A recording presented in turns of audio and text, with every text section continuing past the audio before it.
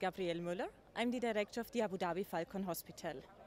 It is a great pleasure and we are very proud to have won the Middle East Responsible Tourism Award because the Abu Dhabi Falcon Hospital provides a unique and fascinating tour through the world of falcons. Wonderful. And uh, tell us, is this an important, do you recognize this as an important accolade uh, within your industry to have won?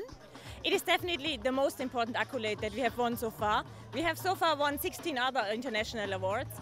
And this is, you can say, the crown of the crown of our work because we are providing a tourism program which is unique in the whole world and it's like a mixture between cultural tourism, ecotourism, and it is so beautiful to see those falcons and we give people an opportunity to experience this wonderful world and the Emirati culture of falconry.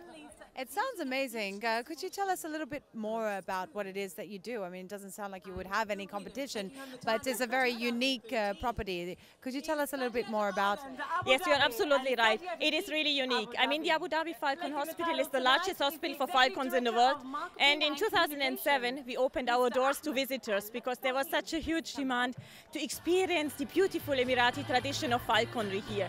And we provide guests with a very interactive tour. They can experience falcons, they can interact with falcons, and it is an unforgettable memory they can share with us.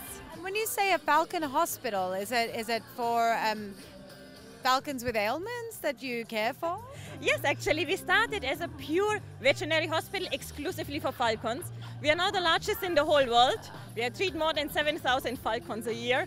And our tourism program sounds a little bit funny in the beginning, but it's beautifully complementing our work because it really gives access to guests from all over the world to experience this wonderful national bird of the United Arab Emirates. It really is uh, such a symbolic and wonderful bird.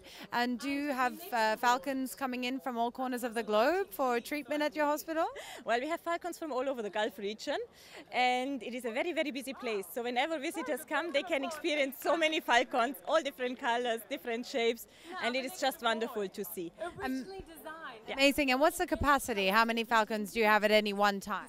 Well, we have as per day as outpatients between 50 to 70. We can hospitalize more than 250 uh, in our premises. It is a huge, huge facility. And in the same time, we are not only treating falcons, we have also beautiful museums to share the history of falconry in Abu Dhabi and the United Arab Emirates with our guests.